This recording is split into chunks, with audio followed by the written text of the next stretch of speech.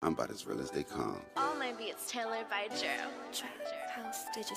Maserati Rick in Detroit, convertible bird in Miami. Graduated summa cum laude, strip club made a tsunami. Carlton Hines with the ball game, Rayful Edmonds with the snowflakes, Craig Petties in the M Town, Sal Magluta with the boat game, Falcone with the cocaine, like Freeway Ricky with the plug game, like Monster Kody in South Central, Larry Davis from close range.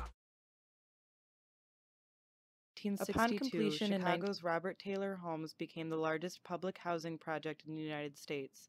Built along two miles of State Street from 39th to 54th Streets in the Grand Boulevard and Washington Park community areas, the project comprised 28 16 story buildings, mostly in U shaped clusters of three, containing almost 4,300 apartments and 27,000 people.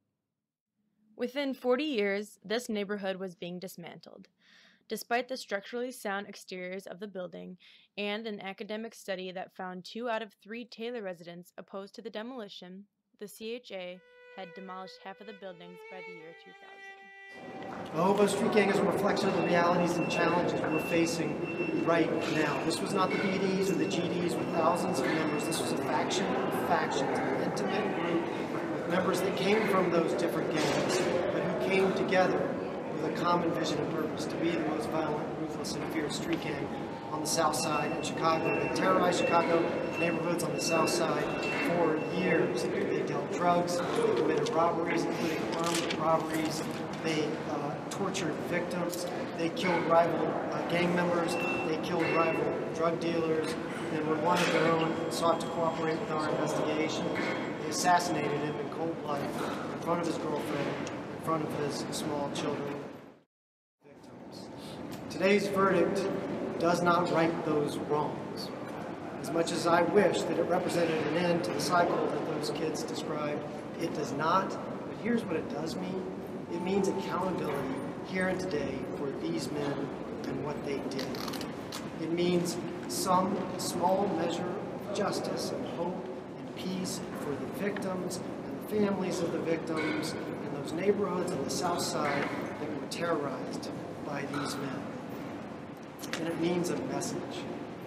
A message that society cares, that we will fight to bring justice and stop ruthlessness, that somebody is here to punch back, and so others be warned do not go down this path. Uh, today is not a victory for the government. We win by doing our jobs. Um, I will humbly submit that it is a victory for the South Side and those neighborhoods that were terrorized by these men and it is a vindication of our system of justice. It took a lot of time and hard work by a lot of people in law enforcement to make today happen. And I want to thank the Department. A lot of this investigation was Chicago police investigation, and they have been and remain a tremendous partner to federal law enforcement in pursuing this gang as well as others. An unbelievable sense of commitment dedication by the men and women of the Chicago Police Department to, to make to make this verdict here here and today happen. So, um, lot lot of uh, great work and effort that was brought to bear uh, to make today's result happen, and I just want um, all of those different agencies and individuals who participated in and there are dozens, to know that we are grateful and that their service has mattered. It's made, a true impact um, as we stand here at 219 South Dearborn uh, today in January 2017. For days, the FBI searched for Paris Poe. He was armed and dangerous and in Madison. But where? The search heated up Thursday morning when security cameras caught him leaving a Nesbitt Road hotel. He had hitched a ride from Chicago, where he's on parole for violent crimes and wanted for questioning in a gang related murder investigation. Half a dozen agencies tried to hone in on Poe. Anyone who's armed and criminal in nature presents a threat particularly if they feel like they're boxed in somewhere, they don't have any way of getting away. Witnesses last saw Poe outside a West Side grocery store and recovered his sweatshirt there. Six hours later, police would pull him over on Highway 30 near Fair Oaks Avenue on the east side in a vehicle authorities would not describe. We don't want folks to get so fixated on a single vehicle that we're losing sight of the fact that he, he he could be just about anywhere. Poe was traveling with a woman and had shaved off his trademark dreadlocks, but did not resist arrest, bringing an end to the hunt for Paris Poe gang's foothold on crime in Chicago if this case sticks. Nine reputed members charged with multiple counts of murder, robbery, and drug trafficking.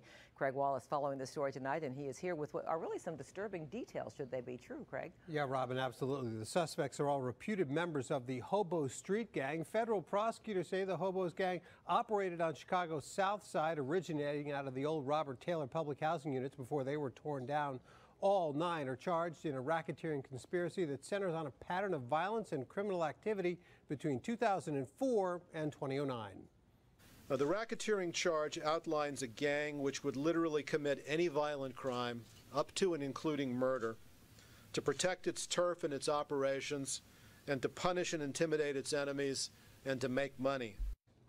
Six of the nine defendants are currently in state custody but will soon be handed over to the feds. The remaining three are already in a federal lockup. One of the men, Paris Poe, made headlines earlier this year when he fled the state while under investigation for the murder of an FBI informant in 2006. A massive manhunt led authorities to Madison, Wisconsin, where Poe was captured the following day.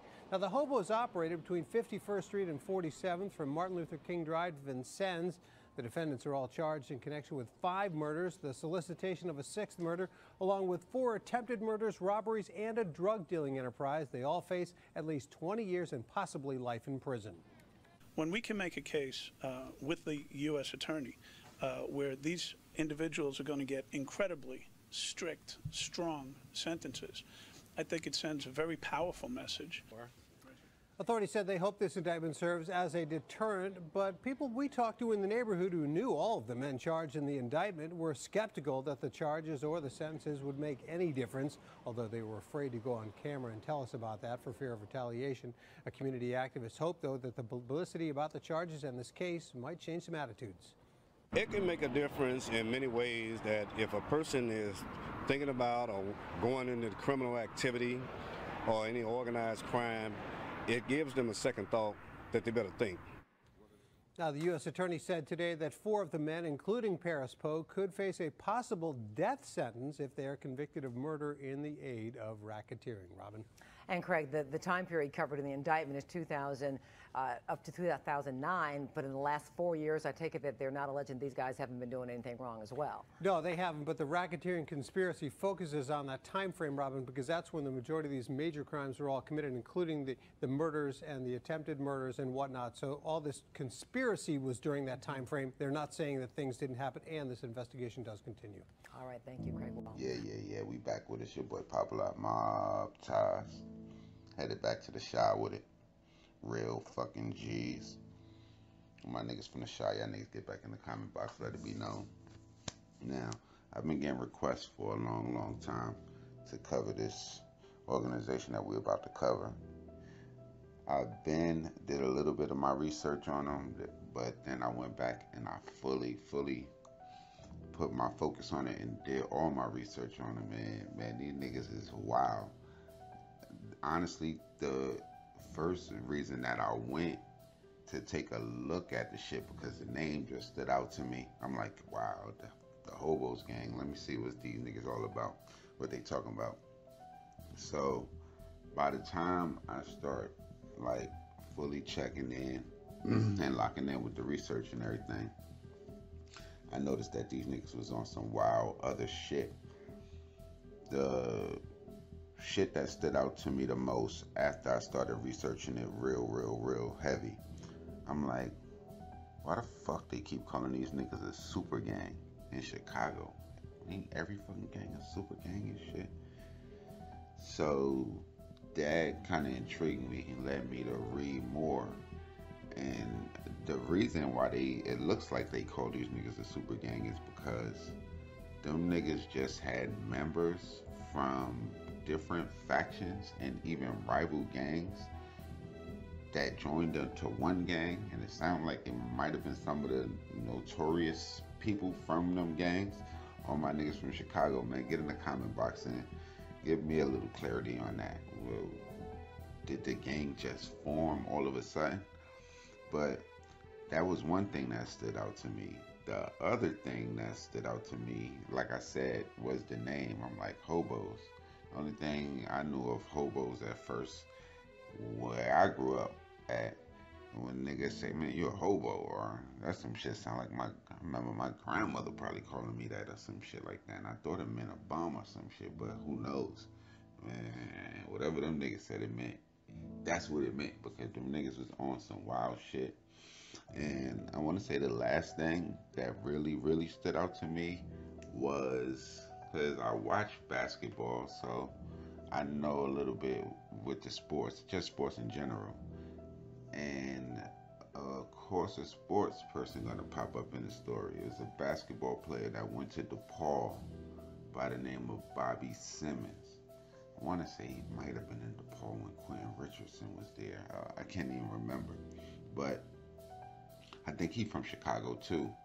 He was allegedly robbed for a chain that was worth a hundred thousand dollars from I want to say the gang's hitman Poe last name.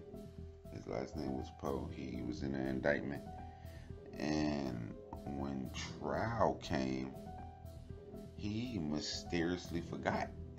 The motherfucker forgot he got robbed for. He couldn't even remember if he got robbed for a hundred thousand dollar chain. Well, that's so wild as fuck because the average nigga lose fucking fifty dollars, and that nigga talk about that shit his whole fucking life.